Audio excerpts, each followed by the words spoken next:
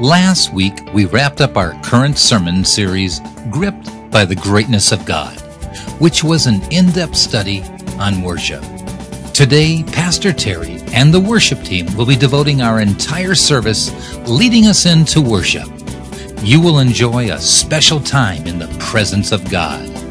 During this service, we will also be celebrating seven baptisms and a baby dedication.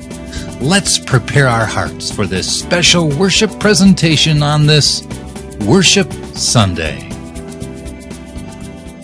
It is time to worship our King. It is time to magnify the only God who can do anything. All other gods are a lie. We are here to worship who? True God. Donna? Jesus, that's right. And we're going to lift his name on high today. Amen.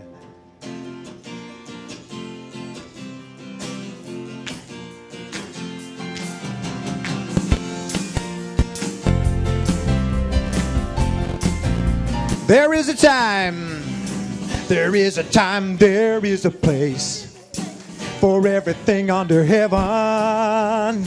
So as we gather now in this place, it's time to celebrate His miracles, His power, His love, the gift of this brand new day.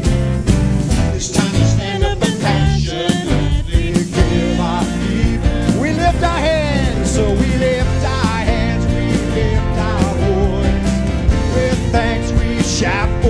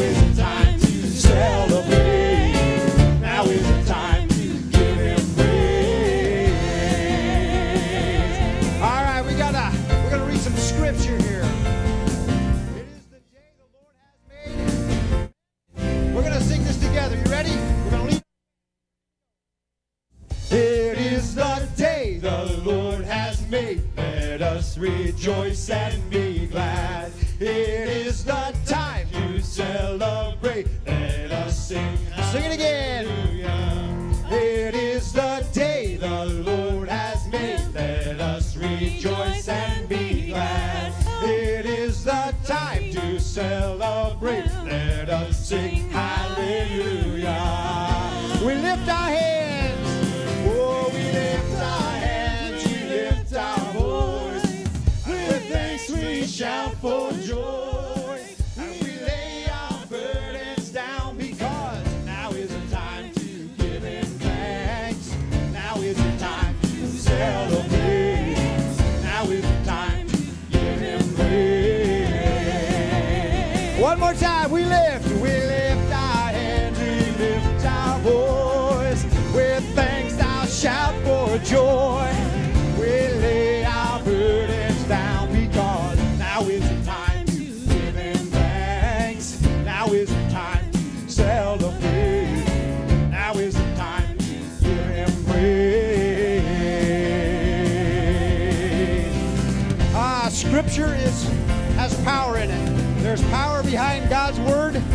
going to sing that again. This time, ladies, please join us. This is the day. This is the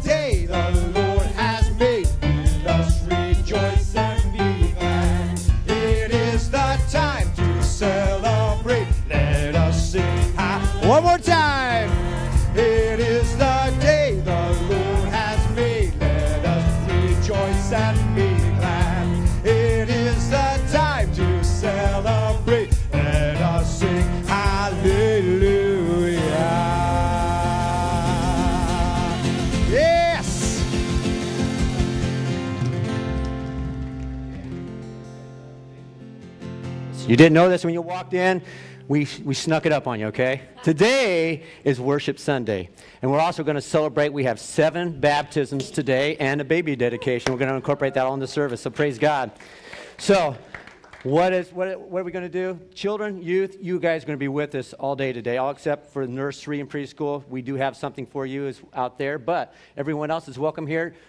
Parents, this is where we teach our kids what worship is all about. You know what I'm saying? This is where we show our expressions and our love and our admiration and our appreciation and thankfulness for the King of Kings for what he's done in our lives. Amen. Our children learn this not by osmosis, they learn this by watching. Amen.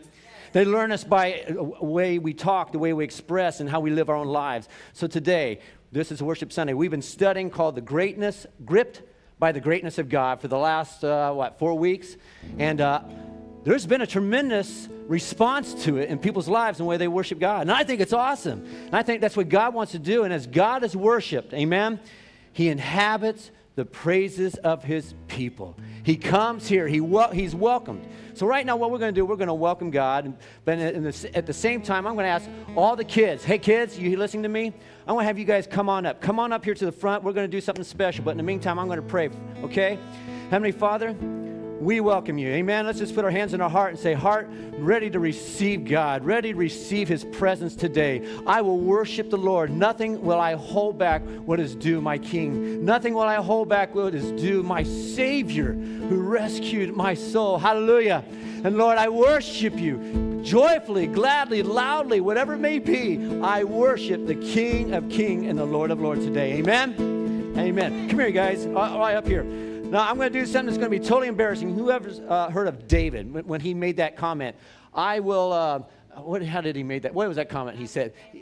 I will, I will be more undignified from, than this. In other words, the Ark of the Covenant, which represents the presence of God in the Old Testament, Ark of the Covenant was being brought back into the city. And David was so excited that Jesus is here, Jesus is here. He's getting all excited. The whole, God is here, the Lord is here that he danced and he took off his robe and he danced. He says, Man, this robe, is just too heavy. This kingly garb, this kingly chain, this necklace, everything about it's just too much. I want to worship God without all this stuff on me today. Hallelujah. And he put God ahead of his own kingship. Amen. And he danced and he sang. So today we have a song that's called Sing and Shout. And I'm going to do something totally undignified. You think that's possible? Okay.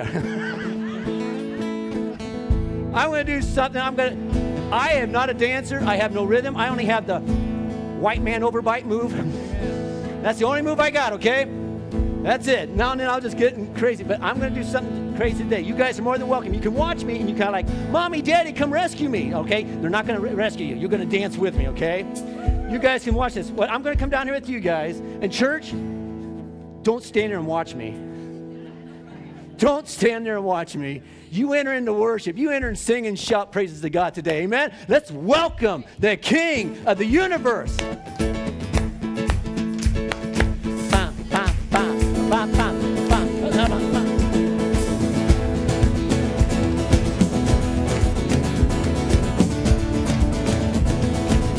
Sing your cross, your cross, your cross. It draws me to your heart.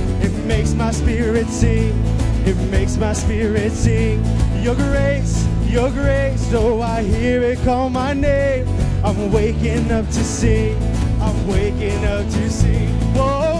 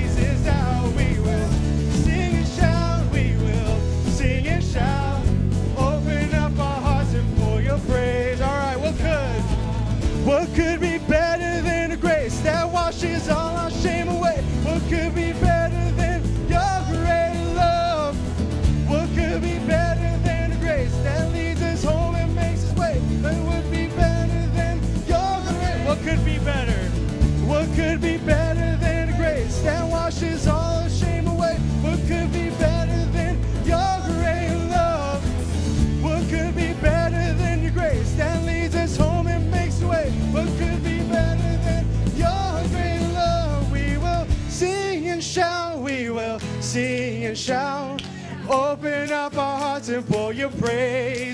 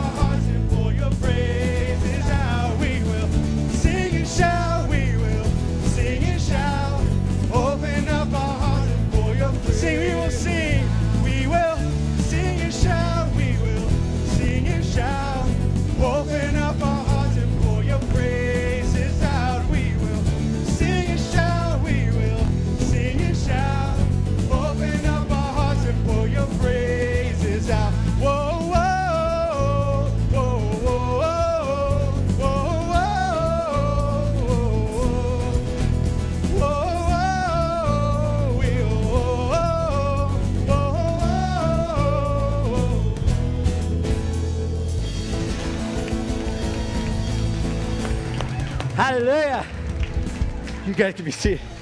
Not bad for a bald guy with three left feet. Amen. It's not about us today. Let me, I want to read something to you. Actually, what I want to do is catch my breath. But hey, need oxygen, that's right. I want to read something to you. Some biblical expressions of praise. Why do we praise? Well, number one, you heard that song. What could be better than a grace that saves me? Amen. What could be? See, the thing is, why sick people don't take certain medicine? Seriously, why certain certain people who are sick who don't take their medicine? It's because they don't believe they're that sick. They don't.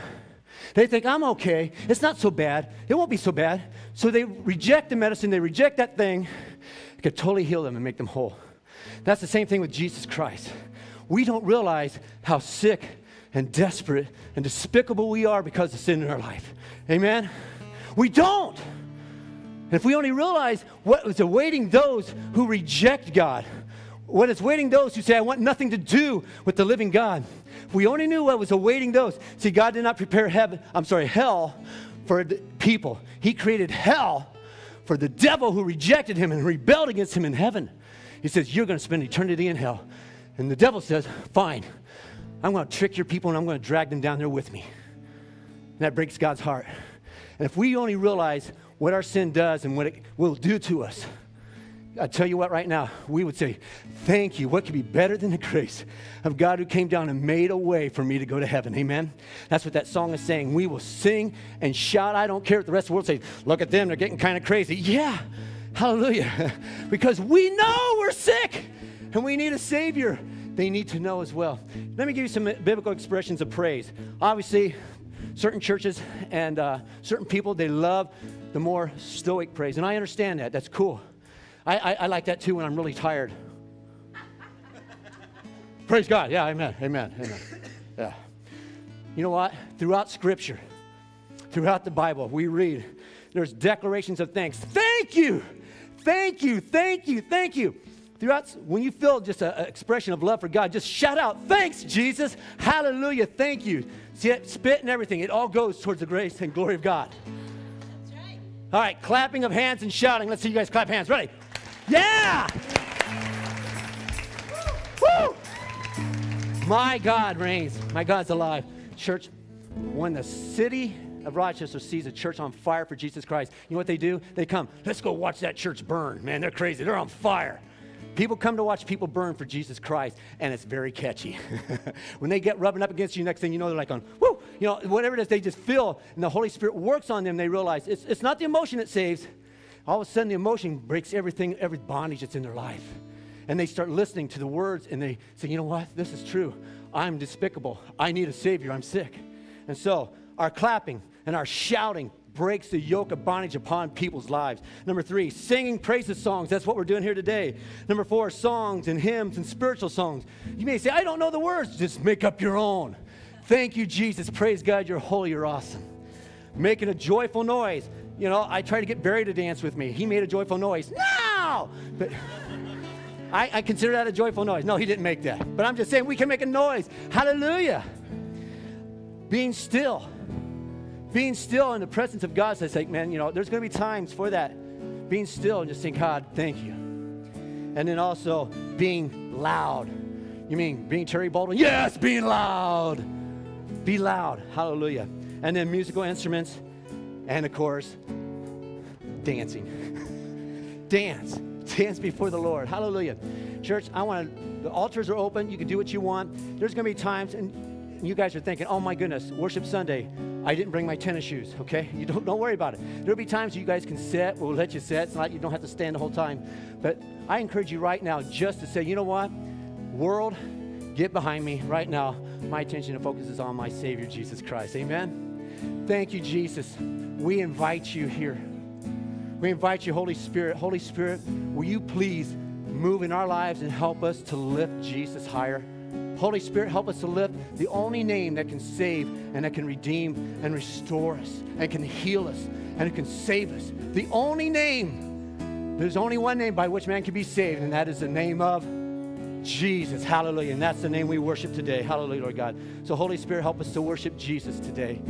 Hallelujah. In Jesus' name. Amen. All right. Hallelujah. Barry, lead them. Donna, God bless you. I'm just kidding. Praise awaits you in this place today, O Lord. Are gathered ready, God, to sing your praise. Ready to respond, and we're ready to respond to the glories of your name, to the wonders of your heart, great love. Praise is waiting for you in this place. There's a cry that our spirits will make as we see your glory. To your mercies, my soul will awake as we worship our Savior today.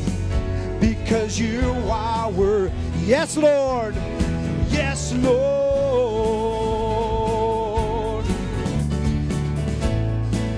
Seasons come, seasons come, and seasons go, but you remain. So unchanging, all deserving of our praise. So we're ready to respond. So we're ready to respond glories of your name, to the wonders of your heart, to your great praise is waiting. Praise is waiting for you in this place. There's a cry that our spirits will make as we see your glory. To your worship our Savior today because you are worthy. Yes, Lord. All right, we're going to sing We're Ready to Respond. We're going to make it a prayer. God, these words we're singing directly to you. Ready to respond. We're ready to respond to the glories of your name, to the wonders of your heart, to your great love. Again, ready to respond to the glories of your name, to the wonders of your heart, to your great love.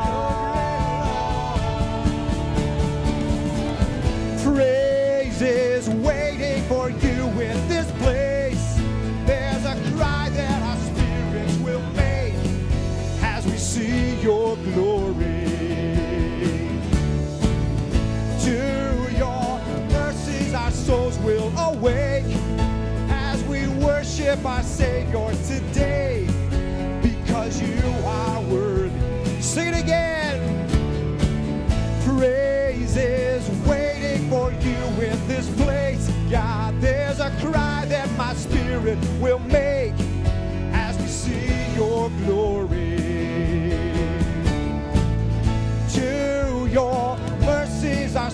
will awake as we worship our Savior today because you are nice and loud now.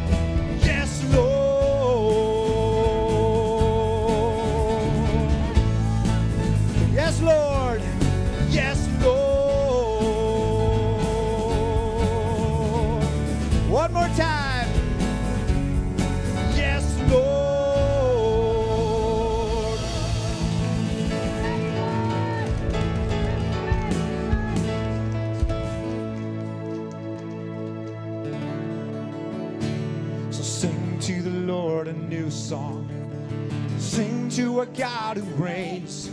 Cause he's the hope for the world in darkness. And he's a light for all to see. Sing to the King of glory. Yes, sing to the King of kings. All creation declares your greatness as your people bring you praise. Cause our God reigns.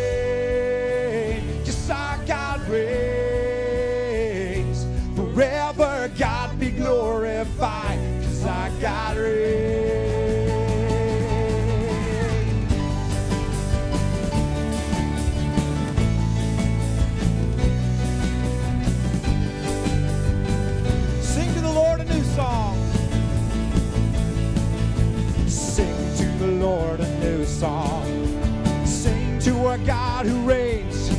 Cause he's the hope for the world in darkness. And he's the light for all to see. So sing to the King of glory.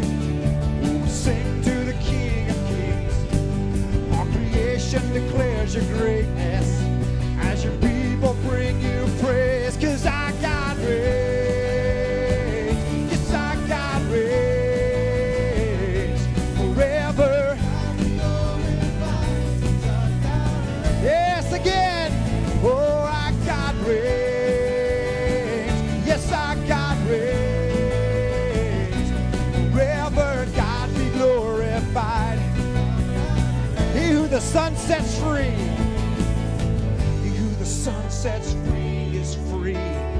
I'm gonna stand in victory because I know that my God made a way.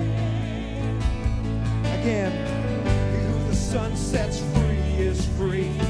I'm gonna stand in victory because I know that my God made a way. Sing it again. He who the Son sets free.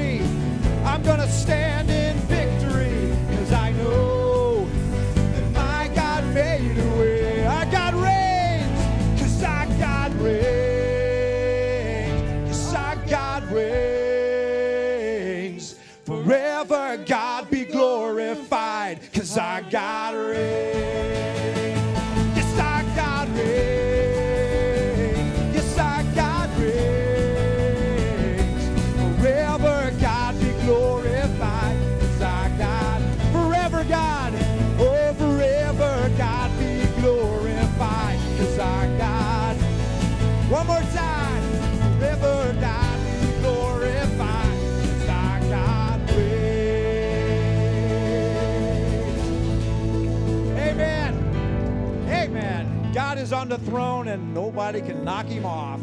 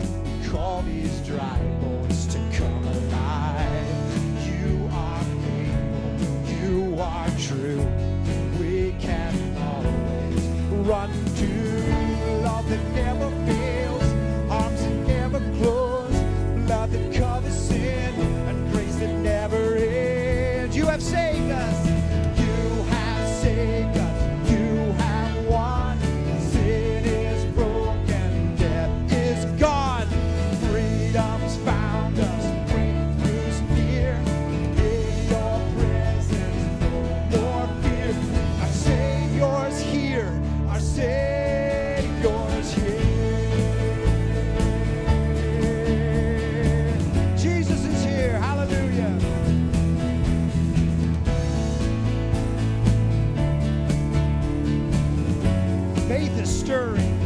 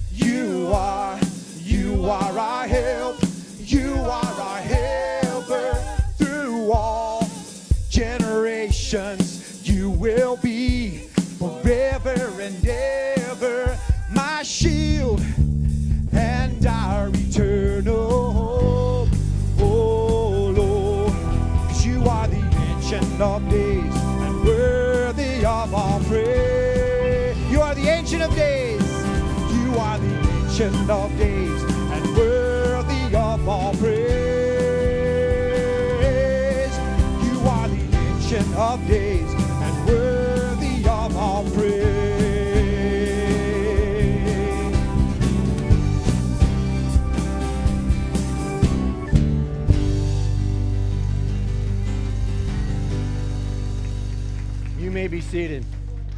You may be seated. Some of the highlights I just want to just mark on and talk about why we praise and worship. Why is it so important?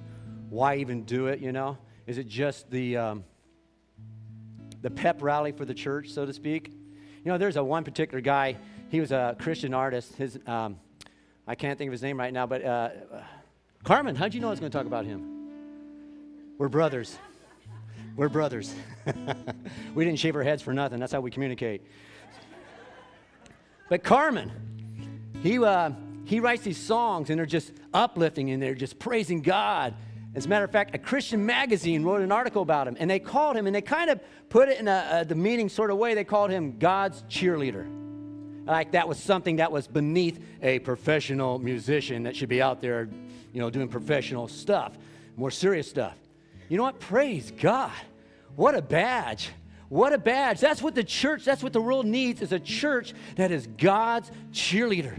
Because we don't save, this building don't save, this group of body of believers does not save. It is Jesus, and that's who we should be trumpeting. That's who we should be cheerleading. That's who we should be talking about all the time with every breath that we have. We are called to be God's cheerleader. Amen? And so when we come together and we worship, people say, oh, that's just hype. That's just, you know, it may be, but the thing is this. You know, there, there's certain times, you know, I keep going off on these other little tangents things, but there's this one thing, uh, uh, psychologists, they say, like, if they're in a marriage counseling, I don't love him anymore. I don't love her anymore. Are you guys willing to work on this marriage? All right.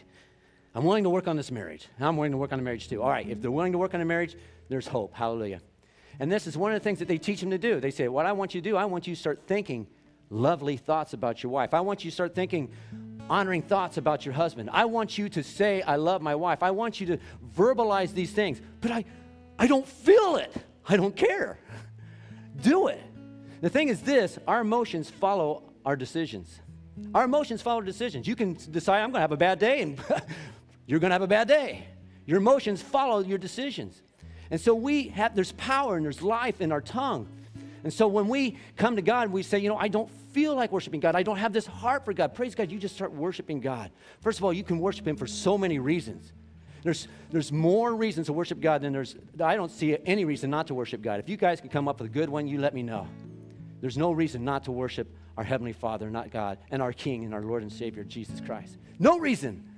So, what we need to do is just say, you know, Lord, I know you're God, and I'm going to worship you for all these wonderful things. You know what? The emotions will follow. The emotions will follow the lead of the mind, of the spirit, and of the will of the man, okay? I encourage you to do that. So, there is power in the praise and worship. That's why we do it. We need to be God's cheerleaders, the church especially. We don't need to be like the world. And I'm not, not saying, oh, all right, we got to be these separatists. We're just so weird that we can't be in the world because the world doesn't have anything to do with this. The world will have nothing to do with Jesus Christ. And for that reason, if you're a Christian, they won't have anything to do with you. And I'm not saying go out there advocating, go out there and just being weird for Jesus Christ's sake. No. If you're being weird for your weird sake, then that's what you're going to get and you deserve it. But we're to be for Jesus Christ, we're to be his cheerleaders and we're to give the truth because he saves, He heals, He delivers, He sets free, He breaks the chain of yoke that's upon your neck, the depression. He can heal that. He can do all these great things. He's the God who created the universe. There's a saying that says this if there's a God, then there's miracles. If there's miracles, then there's a God. Hallelujah. There's miracles in the world today because there is a God. And God wants to do miracles in our life. And that happens when we invite Him into every situation that we have. That's right. Every situation. You go to work, invite Him to work with you. You get in the car, invite Him to go to car, get in the car with you. You know, slap the seatbelts on Jesus Christ. You know, He needs it too. Bring it. Bring it. Roger, thank you very much. that was a joke, by the way.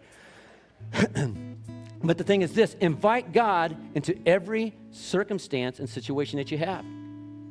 Man, right now, my marriage is shot. Right now, my job is on the line. Right now, I just feel so unworthy. Invite God into that situation and allow God to do his miracle work. Allow God to be a miracle working God. What kind of God do you serve today, church? What kind of God do you serve today? Is he a mamby pamsy God? Is he a God that the, the dead church talks about and there's no relationship, there's no love, there's no passion, there's no power, there's no miracles? Is that the kind of God you serve? No, that's not the God we serve today. And we need to say, This is the God I serve. And I declare it today. I believe it and I trust Lord. Hallelujah. Declare it to the world. Be God's cheerleader. There is power in praise and worship. Invite God into the circumstance. And how you do that is by singing a song about Him, by worshiping Him. You don't have to sing to do it. You could just start saying, Lord, you are awesome. That's praise. Lord, you are beautiful. Lord, everything about you right now, I need today to sustain. I need you today so that I don't go off on my boss or I don't go off on my coworkers. You know, Christians need that help. Amen. Just because you're a Christian doesn't mean all of a sudden you walk through life and everyone can you know, you still have that sinful nature. It's called flesh. That's why you need to pull upon the Spirit of God who dwells inside of you and just say, Help me, Jesus, in this situation. Because the spirit of slap will come over me and I'll do something wrong. Amen? So, what we need to do is call upon God in that situation. God fights our battles when we call upon Him. Did you know that? God fights our battles. Remember, we don't wrestle against flesh and blood. What does that mean? Well, we don't get mad at the people at school. We don't get mad at the teachers. We don't get mad at our friends and we take it out on them and verbalize, cut them down, whack them on the head through Facebook whatever it may be that you're doing. We don't fight them and we don't uh, say, uh, talk bad about them, however it may be, gossip. We don't do that. That's flesh and blood. Because you know what? God died for them.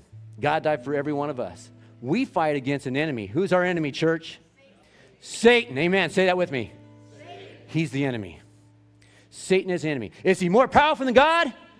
Absolutely not. He's been created by God. And God says, you know what, Satan, you're having your day for right now. But you know what? There's coming a day, there's coming an hour, and there's coming a time, and you know it well because he trembles and shakes, that God's going to take him and cast him into the eternal lake of fire where he will be forever and ever and ever and ever and ever. And with all those that he's deceived, they will be there too. That's why we need Jesus. That's why we need to proclaim it. And we never fear the devil. So remember, people are not our enemy. Amen? The devil is our enemy. So when you see a situation, don't think, ah, they've got the devil. Don't do that, okay? That's bad. What you do, you go into your closet, you go into a situation, you just start praising God. Say, Lord, in this situation, I want to see you glorified. And the only way you're going to be glorified is if I respond in the right way, in the proper way. And right now, I respond in the proper way by worshiping and praising you and inviting you into the situation. You are my source. You are my strength. You are my present help in a time of trouble. Hallelujah. That's the God we serve. That's the God, and it's powerful, and we need to believe that. Believe it, believe it, believe it. God fights our battles. Our worship of God sends the enemy running. Hallelujah. In a situation. Remember the story of Yeah, that's not just a saying, oh, Jehoshaphat, you know, on Looney Tunes. Jehoshaphat was actually a king. And then this king, the enemy came against him, multiple enemies came against him. And what did he do? Number one, he was afraid because he's flesh. He wasn't the super Christian, I fear not, therefore, you know, he was afraid and he was a flesh. But what did he do? He immediately went and praised God. He immediately went and sought God in the situation. And when he did, the Lord, number one, came in, brought peace. The Lord came in, gave a word that says, you know what? I need not fear. I need not tremble. I need not worry about the situation because my God is going to fight. As a matter of fact, that was the word. Stand still and see God. See that He is Lord, and He will fight the battle for you. Next morning, when Jehoshaphat and the whole army of Israel went out to see what was happening, what did they do? All these enemies that outnumbered them, outnumbered them vastly, outnumbered them not only in numbers, but outnumbered them in weapons, out, out, had too many more horses than them, had better weapons, had everything greater. But when they worshiped God and they sought God and they got up the next morning, the Bible says there was not a single one left alive because God brought confusion into the enemy's camp. When God stepped into the camp, I imagine he just kind of stepped into that camp at night while they were sleeping. And all the hell, remember, flesh is not our enemy. And as soon as God stepped into that camp, I can just imagine all demon forces like scatter, run, hide, find a rock, get out of here, whatever it may be. They fled and they feared. And when that happened, confusion came into the minds of these people and they just started attacking each other and they all killed each other. See, God fights our battles. If, if, church, we invite him into that situation. If we praise him. If we sing his praises and we seek him in that situation. If, amen? And that's what the church does. We do that sort of thing. Hallelujah. So, are you overwhelmed by the troubles of life? Are the things in your life, are you overwhelmed by those things? Man, invite God into that situation. I don't care what it is. God knows every aspect of our lives health, finances, relationships, uh, you name it, emotions. Hallelujah. If you're overwhelmed by your circumstances, praise God. Then the praises and worship of God with all your heart. Be radical. be radical. You know, you don't have to be radical in front of people. You can go in your prayer, prayer closet and be radical. Matter of fact, that's what God honors more than anything. Lots of people can whoop it up out in public, but sometimes they whoop it up for whooping it ups, you know, reasons for, you know, that reason. But get in your closet and just start worshiping God in the situation. Thank Him. As you're driving, thank Him, Lord, that you are going to intervene in this situation. Hallelujah. Worship is an act of our life today. Let's continue to worship.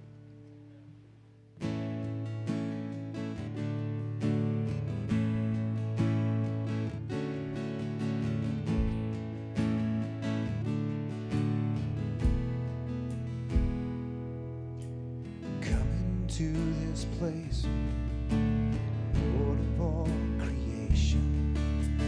Come into this place, oh God. Come into this place,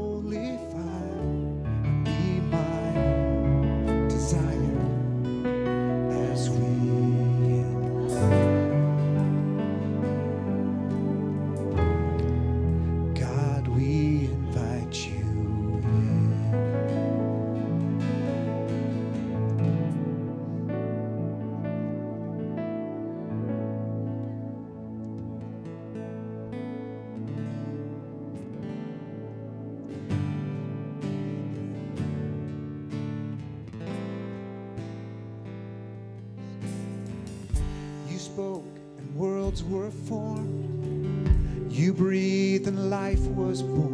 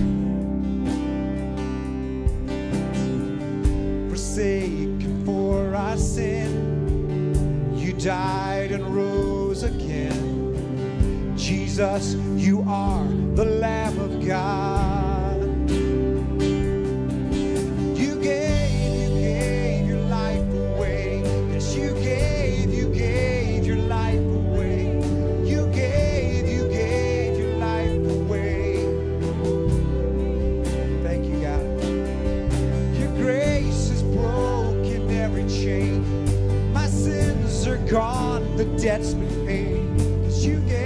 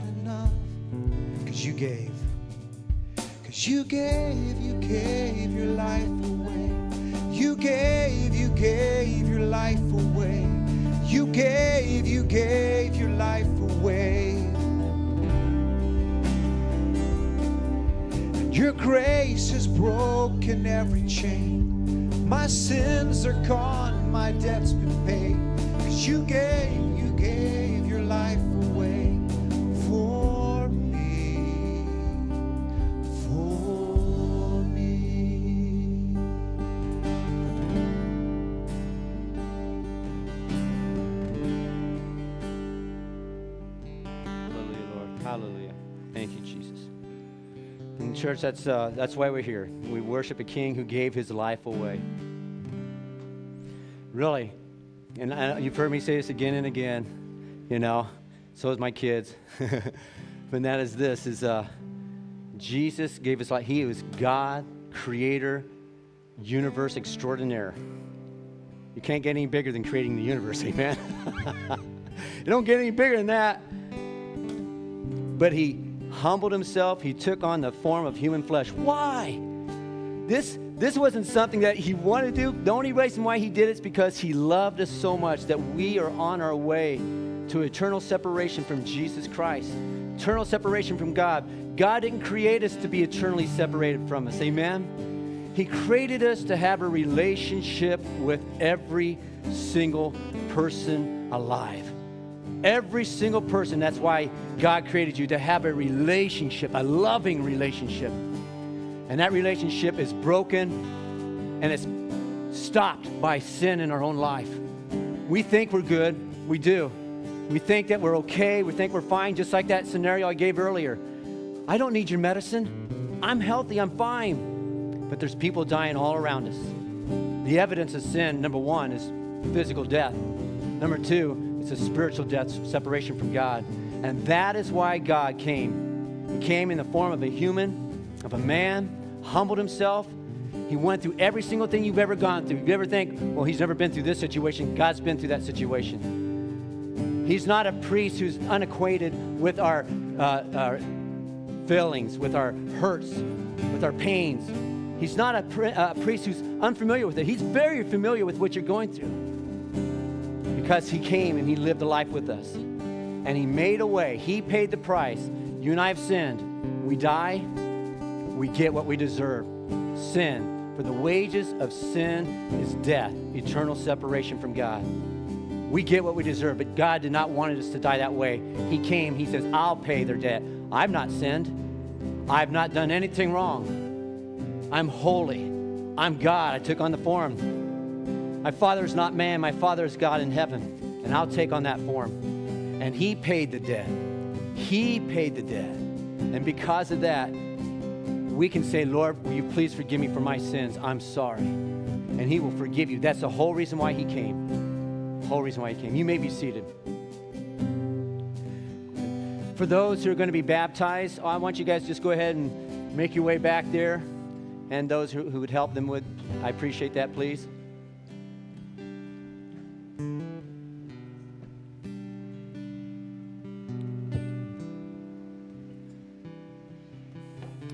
Well, that really, that is why we sing. That is why we worship God.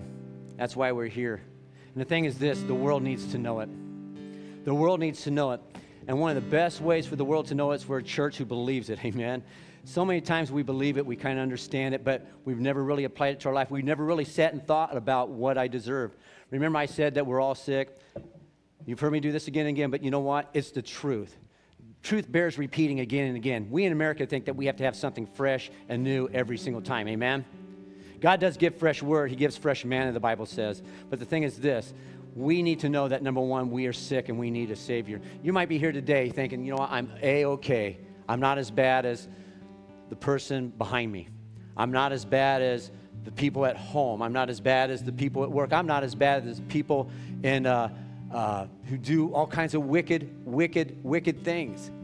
But God doesn't put us on a scale. He doesn't grade us on a scale. That thing that, remember growing up in school, He was great on a scale. It's like, oh, please, oh, please let them have an F, so therefore I may get a D minus. You know what I'm saying? That's how I was. But I was on the scale. I was the one who's, you know, bringing everyone else down. But God doesn't grade anyone on a scale. He grades us against His perfect law. He grades us against the law. Have you broken a law? If you've ever told a lie, ever told a lie once in your life, the Bible says that, and common sense tells you if you told a lie, you are a liar. And the Bible says, no liar shall have a part in heaven. Why? Why is God so mean? Why is He so strict? God is so holy. He's so holy. He will never allow anything like that to come near him or touch him. He can't because he's God. He would consume it. His holiness and his righteousness would just consume it immediately.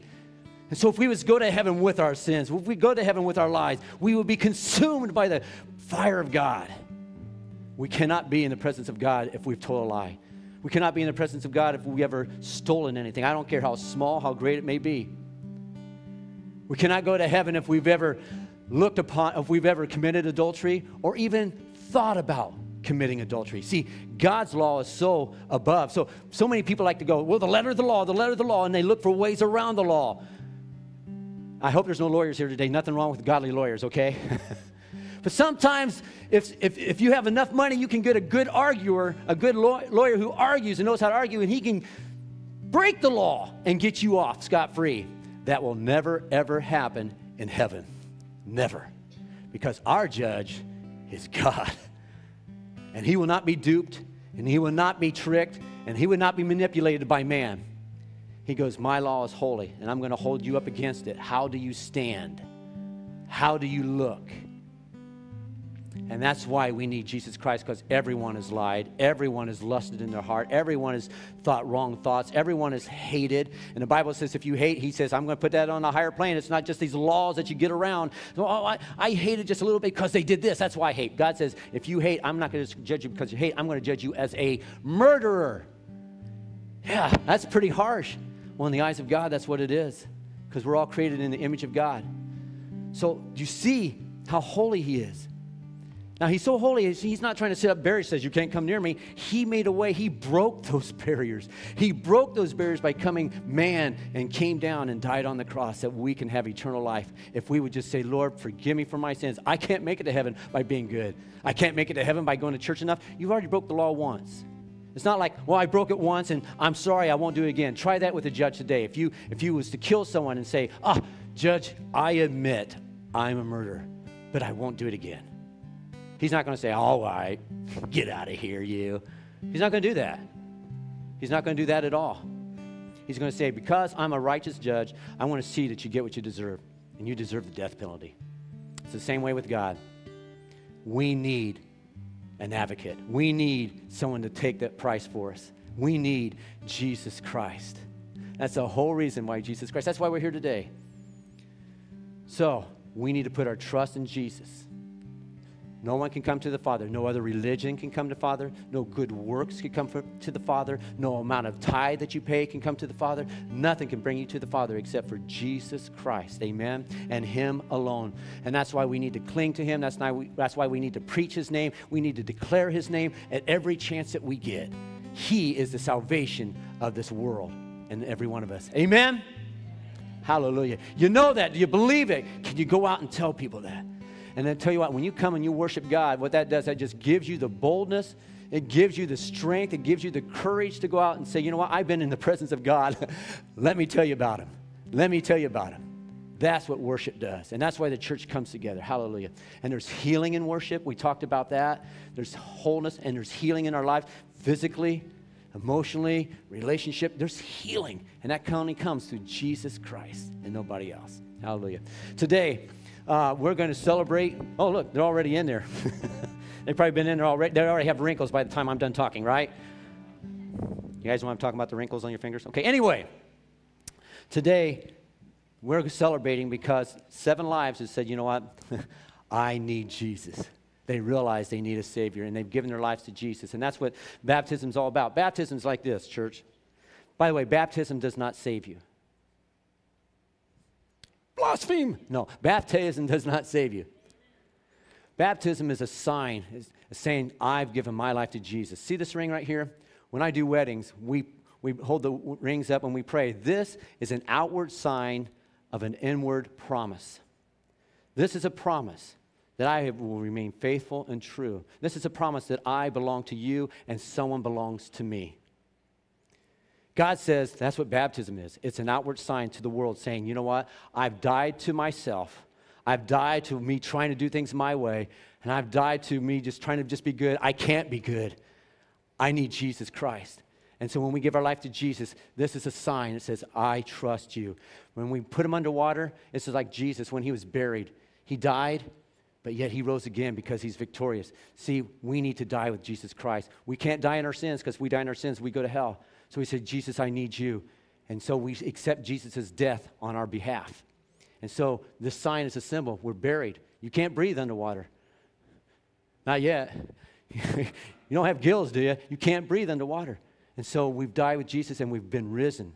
We've been risen because Jesus Christ is risen and he promises that he will bring, come back and he will raise us again from the dead if, he, if we should die or if he should come back right now as we go up to heaven with him right now. That's the promise of God. And so that's what we're celebrating today. Go ahead and watch this uh, video, and we'll watch who's going to be baptized.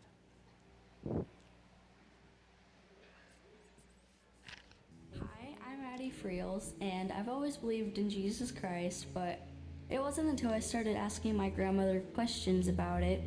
She cried a bit, and I humbled myself after that and I asked him for forgiveness, and ever since then, I've felt his presence with me. I felt like he actually filled me with the Holy Spirit, like a warm, tingly feeling came. And ever since then, I want I wanted to spend my, the rest of my life with Jesus. Hallelujah. Well, Addie, I just want you to know. Hey, go ahead. I want you to know this. Um, you're absolutely right. When you ask Jesus into your heart, your heart, He fills you with His Holy Spirit. That's a, a seal. He's coming back for the Holy Spirit, and He belongs to you, and you belong to Him. And so you're going to heaven with Him. Hallelujah. Addie, we're very proud of you. And Grandma, we're very proud of you that you're constantly speaking truth and life to your grandchildren. I know you love them so much, and it's very, very evident. And because of that, God has used your prayers. God, I want you to hear this, grandparents and mothers and fathers. God uses your prayers for your children. Amen. Never give up on them. Never give up on them. Pray, pray, pray. Hallelujah. And because of that, Addie's eyes have been opened to the truth. Addie, we've heard your declaration. You're going to live for Jesus the rest of your life. You've asked him into your heart to forgive you for your sins. Well, Addie, by your own confession, we now baptize you in the name of the Father and the, uh, the Son and the Holy Spirit.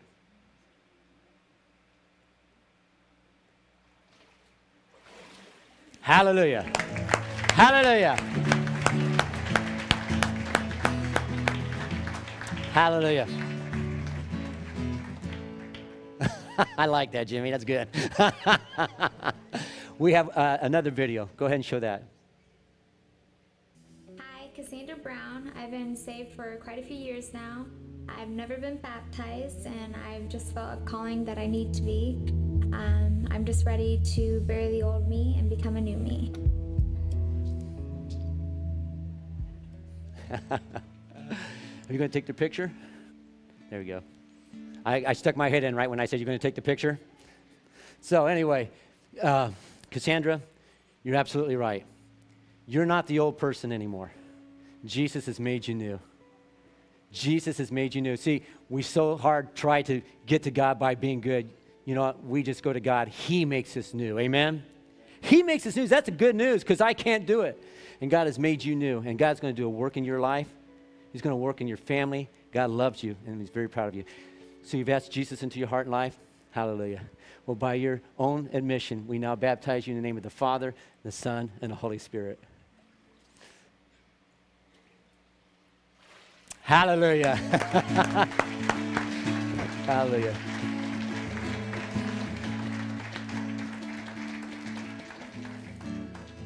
All right, we have uh, one couple more. Go ahead. Hi, my name's Augusta. Wait a minute. Go ahead. And, I tell you what. Turn that up, you please? Start over. And I really felt the presence. Of Start over and turn it up. Make sure we can hear their name. Hi, my name's Augusta Up, and I went to church camp this year, and I really felt the presence of God at chapel, and I just broke down and cried and asked Him into my life. And I realized that I just needed Him, and um, I just want to live for Him forever. Hallelujah. Hello, Augusta.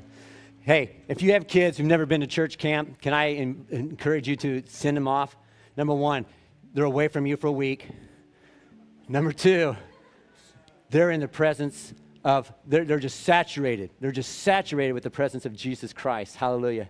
And so, and then lot, many, many people have heard the call of God on their life at church camp. Hallelujah. And Augusta, you heard God knocking on your door, didn't you? And you, you've, you've been around church a lot, but it was at that moment that you heard God just saying, I love you and I want you as my daughter. And you responded. You've asked Jesus into your heart and life? Well, Augusta, by your own admission, we now baptize you in the name of the Father, and the Son, and the Holy Spirit. Hallelujah.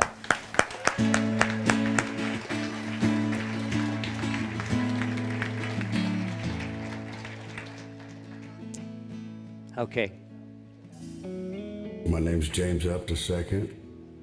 I gave my life to Jesus Christ in uh, sometime in January, and uh, I'm here for the long haul.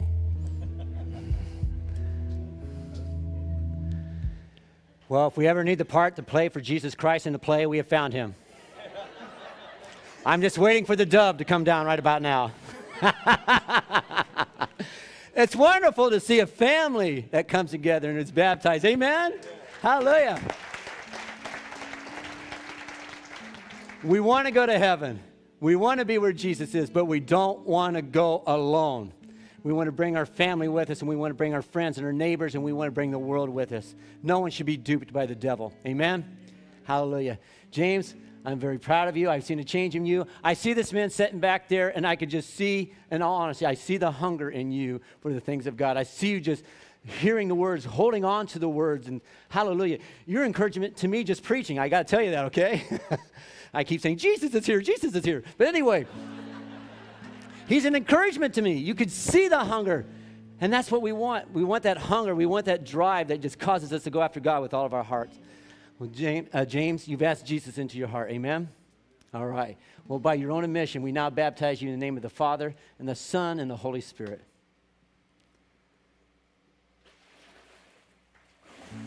Hallelujah. Proud of you, buddy. Good job, bud.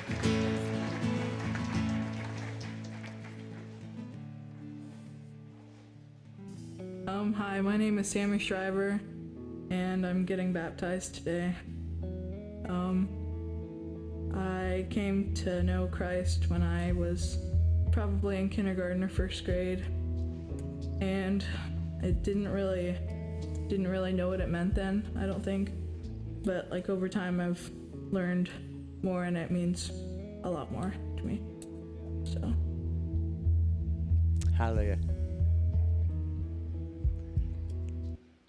You going to get your picture taken there? There you go. Samantha, you know what Samantha said there, and a lot of us may totally associate with that. You know, I grew up in church and I accepted Jesus at a very young age.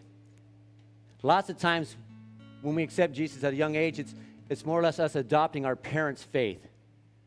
And then as we grow older, we experience things in life. And then we realize that faith doesn't really stand. It's good, you need it. You need your parents' faith at first, amen? Parents, give it to them, give it to them. But then there's a, comes a time where God says, I want you. I love your parents, but I want you, and I want you to have faith in me. And so, Sam, you heard that in your life, and we're very, very proud of you. And number one, you've made it to everyone. You made this commitment to everyone, and we're very proud of you. Well, have you asked Jesus into your heart, right? You totally understand now. Well, by your own admission, Samantha, we now baptize you in the name of the Father, and the Son, and the Holy Spirit.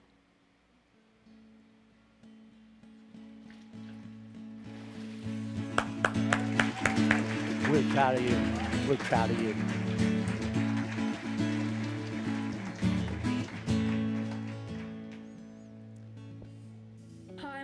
Jesse Shriver. I became a Christian when I was four or five. Last, I at VBS, I realized that I wanted to be baptized, so I let everybody know that I'm a Christian, and so the Lord would be my Savior, and everybody would know that. Amen. Hallelujah. well, Jesse, that's why we're here. We're here because you says, I want everyone to know. Look out there. they all know that you love Jesus and if you've given your heart to him. And what a wonderful testimony that is. We're very proud of you, man. Very, very proud of you. Can't wait to see what God's going to do in your life, Jesse. God has a purpose and a plan for you that's greater than you can even imagine or even your parents had dreamed for you because God is so good. Well, Jesse, you've asked Jesus into your heart. You understand completely. Well, by your own admission, we now baptize you in the name of the Father and the Son and the Holy Spirit.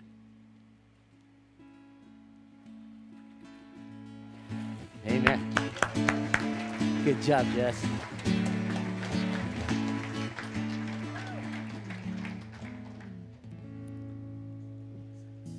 Hi, my name is Hunter Shriver, and I gave my life to Jesus when I was five years old.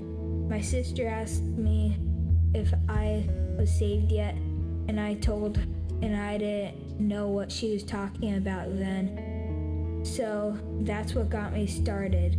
Bye. I want you to know the last three, the last three is all from one family. matter of fact, this is their dad right here, Don Shriver. Don, you want to wave to everyone there? The whole family is together being baptized. And uh, Hunter, I'm so glad that you listened to your sister, okay? that is so rare. That is great. That is so great.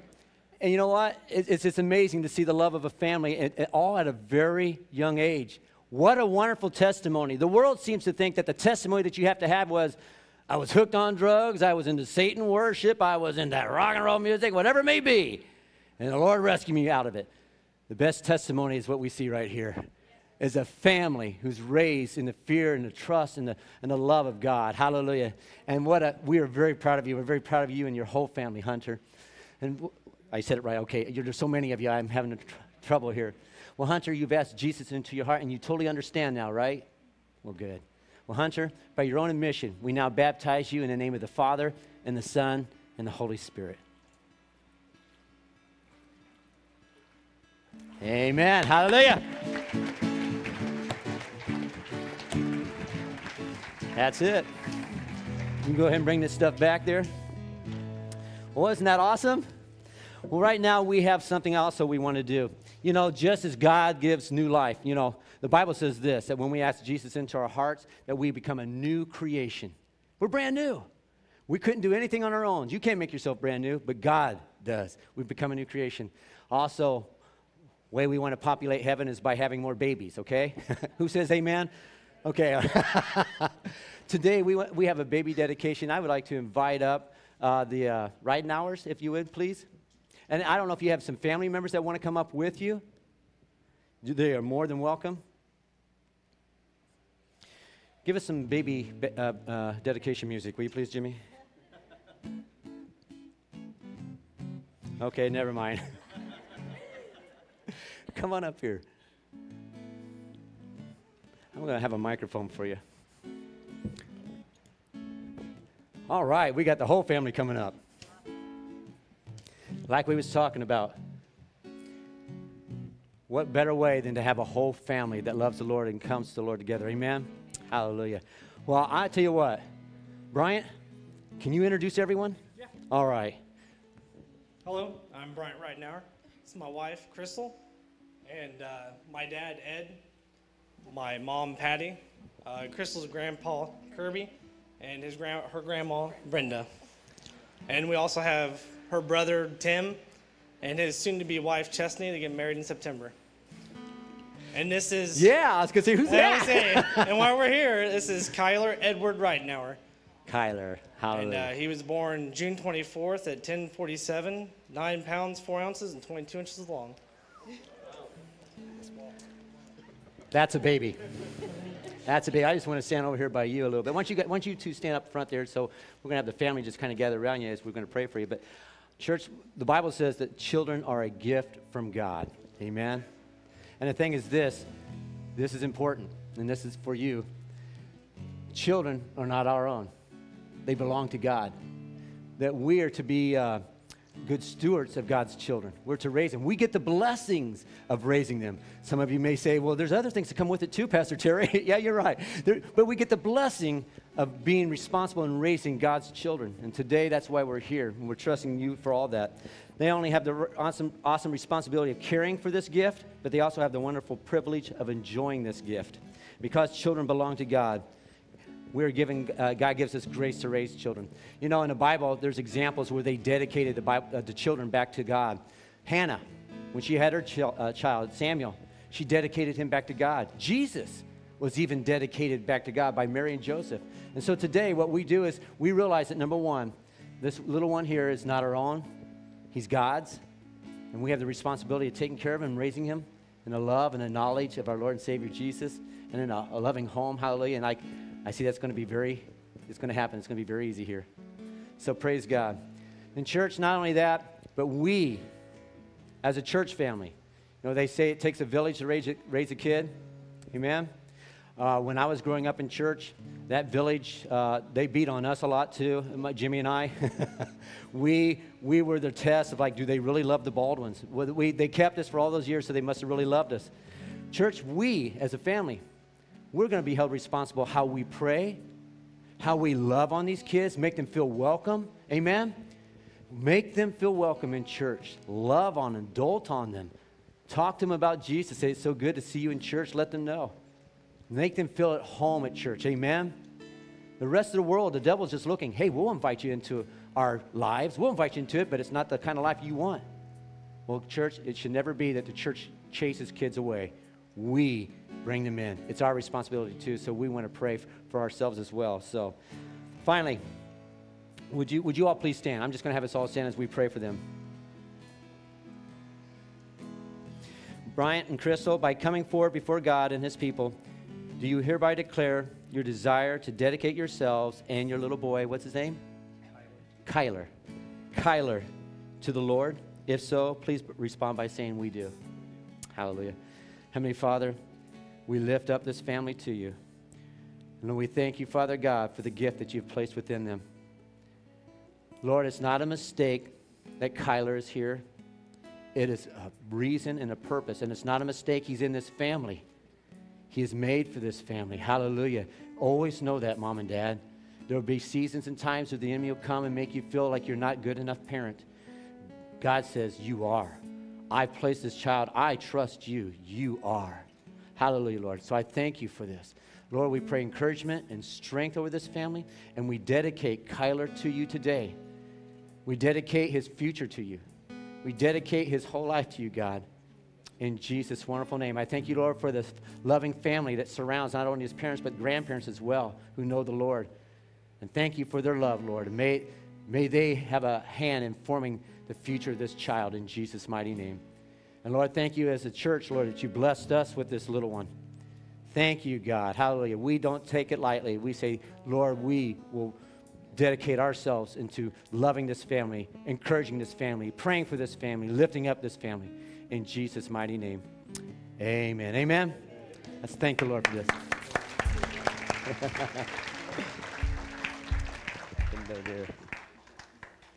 he smiled. it was gas. All right. Well, church, we're going to just go ahead and just uh, welcome them back, welcome the whole family, and we're going to go ahead and continue with three more songs. We're going to close. Actually, one more and then two more, right? Which adds up to three. Okay, all right. Public education.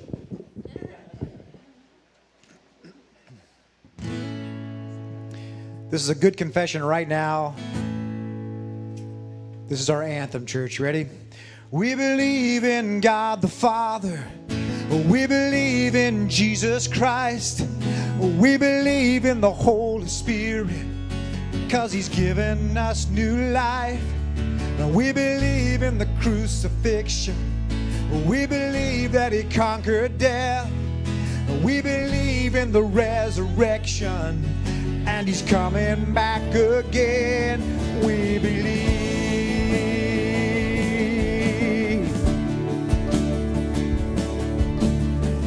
Let's sing that chorus again. So we believe in God the Father. We believe in Jesus Christ. We believe in the Holy Spirit. And He's given us new life. We believe in the crucifixion. We believe that He conquered death. We believe in the resurrection coming back again. We believe. So let the lost be found. So let the lost be found and the dead be raised in the here and now. Let love invade. Let the church live loud to what God will say. We believe. We believe. And the gates of hell will not prevail. For the power of God is torn the veil. Never fail. We believe. We believe. Yes, we believe in God the Father. We believe in Jesus Christ. We believe in the Holy Spirit. And He's given us new life. Yes, we believe in your crucifixion. And we believe that you conquered death. We believe in the resurrection. And He's coming back again. Oh, we believe. Yes, God, we believe. One more time. We believe.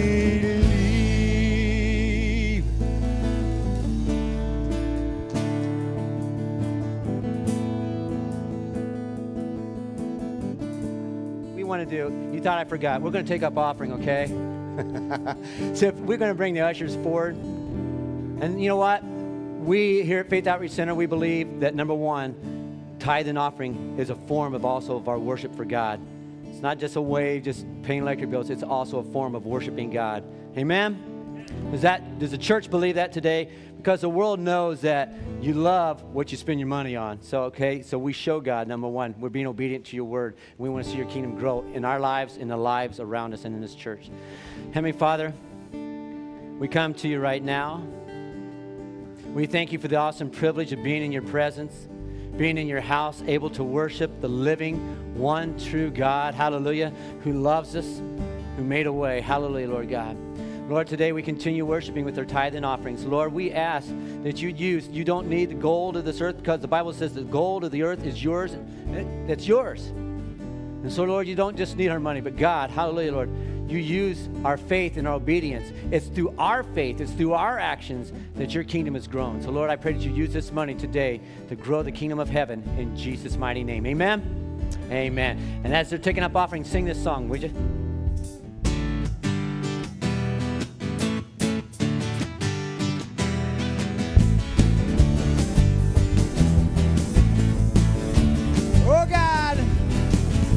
God, you've been so good to me.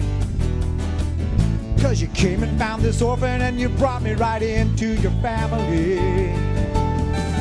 Oh God, you've been so good to me. Cause you threw away my past and you never count my sins against me. Thank you, Lord. You got me dancing, and I'm shouting. You got me leaping, and I'm spinning hallelujah. You're so good to me. You're so good to me. You're so good to me. Verse 2. Oh God, you're so good, good to me every day. Every day I wake up and breathe another breath of your mercy. Oh God, you've been so good to me. And my delight is in you because I know that your hand is upon me. Thank you, Lord. You got me dancing, and now I'm shouting. You got me leaping,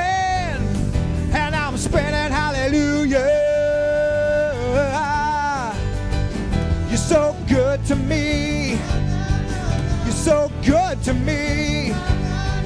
You're so good to me. Jesus, you're the one. Jesus, you're the one who saved myself from me. So I will be the one to praise you in the streets. Praise you, God.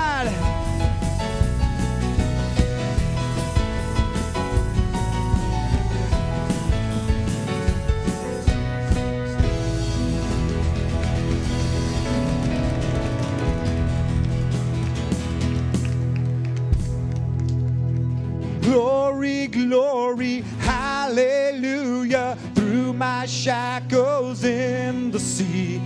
Glory, glory, hallelujah. Jesus is my liberty. I'm going free.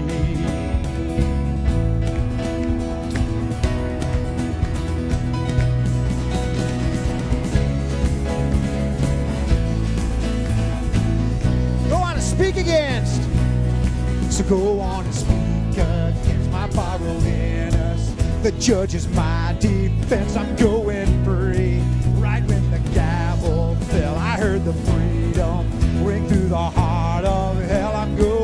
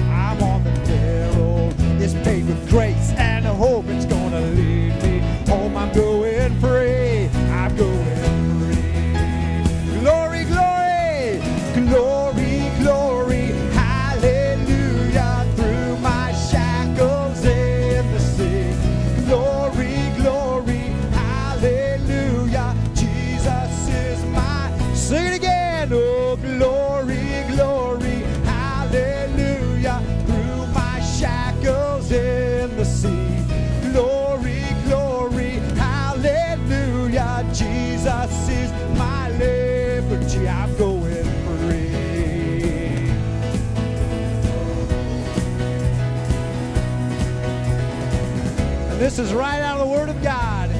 I am free. I am free. I am free indeed. I am free. I am free indeed. Sing that again. I am free.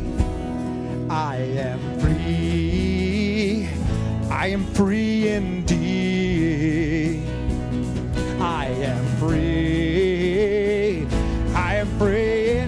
Sing, we are free.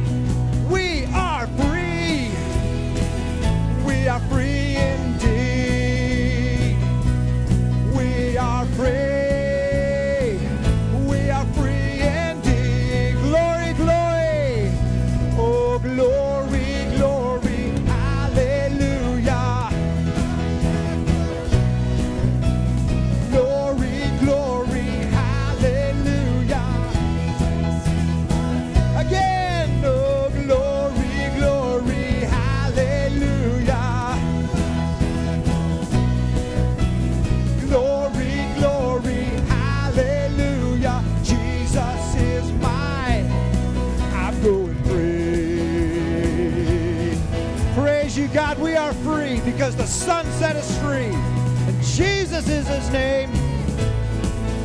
Someday I'll fly away. Someday I'll fly away on your amazing grace. Your love is my jailbreak. I'm going free. I'm going free. Yes. Hallelujah. Hallelujah. Heavenly Father, again, you've thrown our shackles in the sea. We can dance, we can sing, we can rejoice because we are free indeed. Amen. Thank you, Jesus, for this joy. Hi, Lord, I pray, Lord, as people go home, that the joy of the Lord will be on their hearts, that the praises of God will be upon their lips, and that their homes will be filled with singing and dancing in Jesus' name. Hallelujah, Lord. We thank you, Lord, for making us free. Thank you, Lord, for this congregation. Lord, may we go out and infect the world for Jesus Christ. Amen. Go out and infect the world for Jesus Christ. Amen. God bless you, church. Love one another. If you have made a commitment to Jesus Christ after listening to this message, or if you have any questions concerning our ministry here at Faith Outreach Center, we would like to hear from you.